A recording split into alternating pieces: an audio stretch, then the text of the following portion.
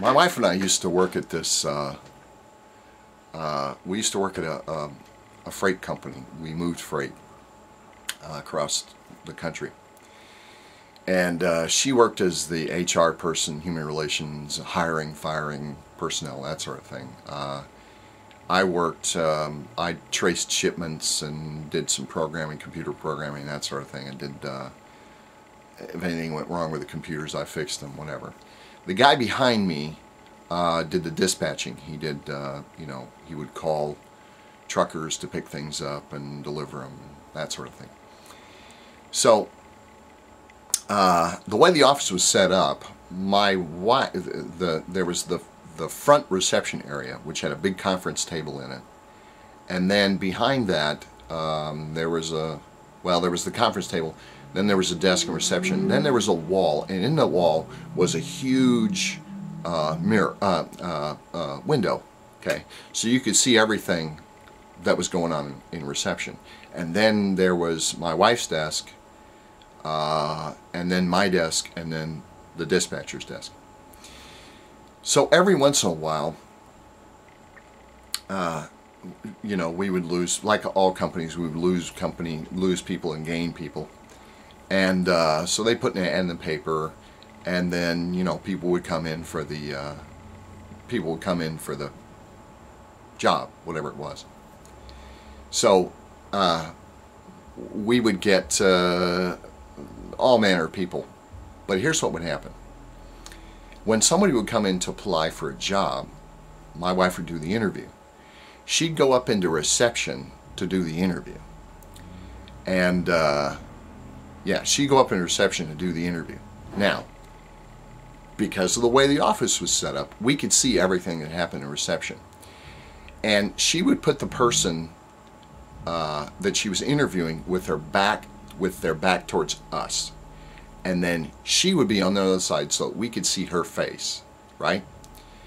So me and the guy behind me, we would see this person come in, and, and sometimes it'd be a girl. A lot of times it'd be a girl. In fact, most of the time. And uh, so me and the guy behind me, we, we'd get pieces. We'd look at the girl, right?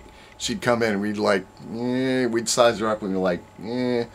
And then we'd get pieces of paper and uh, we'd put numbers on them like the Olympics guys, and we'd hold them up. And my wife is sitting there trying to conduct an interview in reception.